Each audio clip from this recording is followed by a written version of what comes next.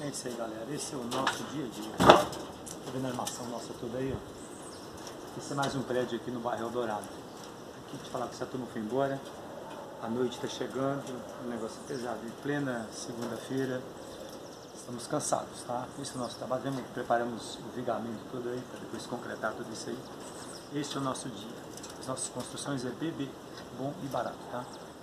Deus abençoe, entrega teu caminho ao Senhor, confia nele e o mais ele fará. Compartilhe com seus amigos, tá?